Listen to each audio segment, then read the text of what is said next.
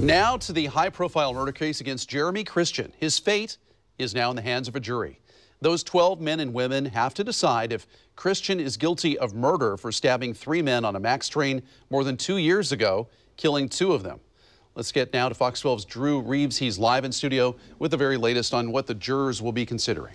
Yeah, the case was handed over to the jury this evening, late enough, though, that they haven't actually begun deliberations yet.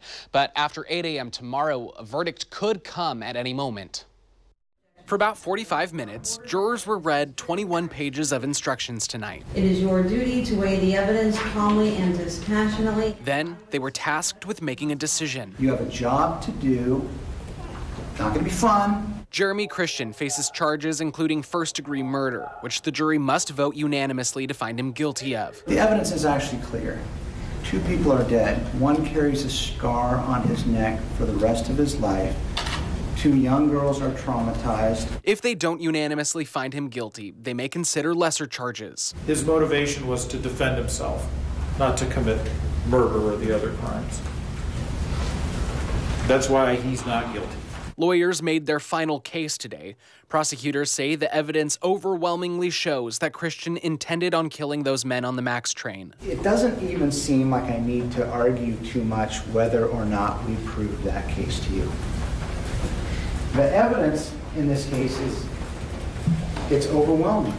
It's insurmountable. But the defense said Christian was exercising his free speech and acted out of self-defense. He was thrown down twice and told to get off the train.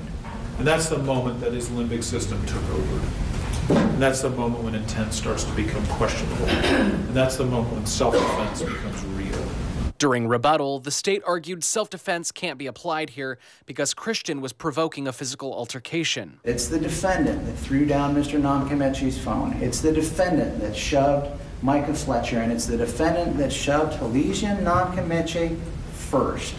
First. Now it's up to the jury to decide why this all happened.